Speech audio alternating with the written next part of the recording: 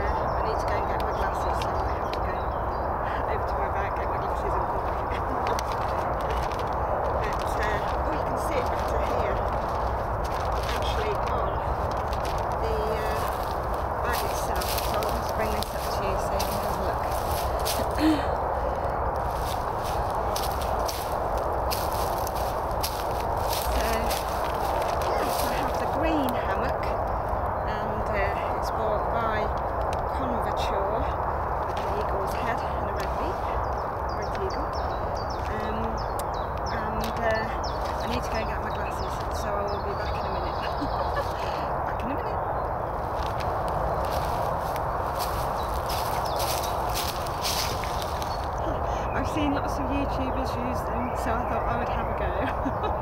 Just hope I don't fall out. I'm only going to put it up um, in this uh, permissioned, uh, I have permission in this woodland. Um, uh, I'm only going to put it up, I'm not actually going to sleep in it uh, tonight. Um, it's just to see how I get on basically. Hopefully I will be okay. Um, I am I am going to get into the hammock and see if I fall out or stay in it. um, and uh, yeah, we'll have we'll have a go. Um, so this will be fun. Righty Back in a minute.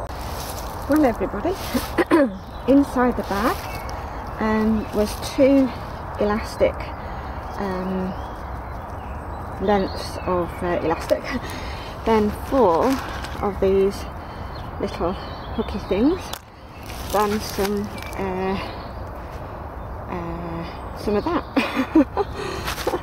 and the instructions. There's some more instructions on the bag underneath there, and this is the um, uh, hammock.